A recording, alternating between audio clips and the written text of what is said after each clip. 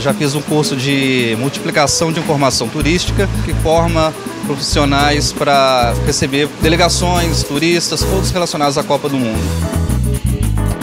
Eu mesmo já estou falando inglês. Estou me preparando. Assim como Dona Aparecida, 300 mil profissionais se preparam para receber o Mundial de 2014. Hotéis, restaurantes e o comércio investem nos profissionais para que os 3 milhões e 600 mil turistas esperados para a Copa tenham a melhor das impressões. Nós temos cursos de garçom, de barman, de cozinheiro, auxiliar de cozinha, recepcionistas, camareira, todos, todas as profissões que envolvem um restaurante e um hotel.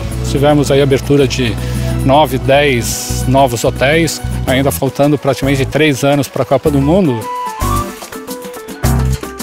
Além dos cursos, o brasileiro ganha com nova infraestrutura e com o aquecimento de outras áreas da economia. Até a Copa, serão abertas mais de 700 mil novas vagas de emprego diretamente ligadas ao Mundial em termos de visibilidade, em termos de economia, em termos de incentivo ao esporte mesmo. Vai dar um fomento, né? O pessoal vai, vai começar a frequentar mais a cidade. Acho que vai ser investido em infraestrutura também, que é interessante para a população como um todo, né?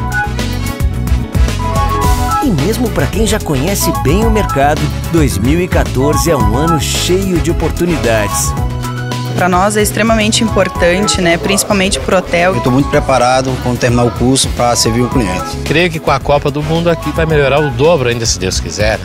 Copa do Mundo é um, um desses eventos que marcam um país, marcam as pessoas. É legal saber que a cidade que a gente vive vai participar.